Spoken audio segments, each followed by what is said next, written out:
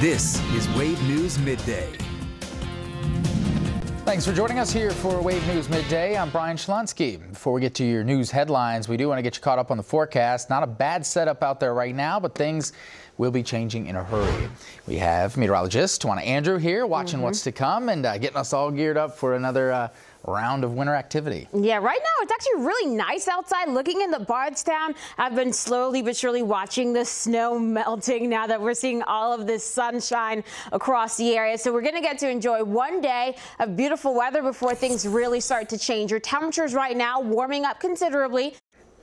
Still ahead here on midday, expect passionate calls for voter rights reform on Capitol Hill today as the Senate begins debate on two contentious bills. We'll have the latest from Washington straight ahead.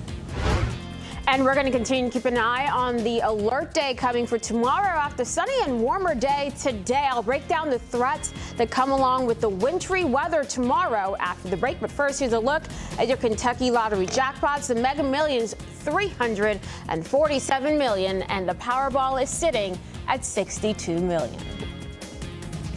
The Kentucky Lottery, over $4 billion in grants and scholarships. More than seven decades, we've been your local news leaders. And now, almost 75 years after becoming your very first TV station, we're leading into the future. We're investing in the tools and technology to bring you what's happening right now, innovating how you plan for your day. No matter where you're watching, whenever you see this logo, you know it's local. It's making a difference. It's looking to the future. You know it's Wave.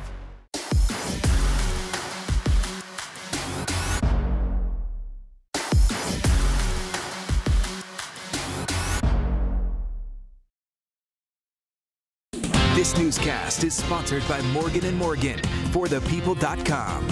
This is Wave News Midday.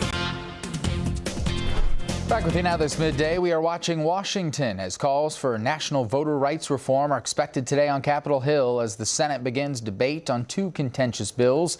But debate could be as far as it goes. Bree Jackson has the latest from Washington.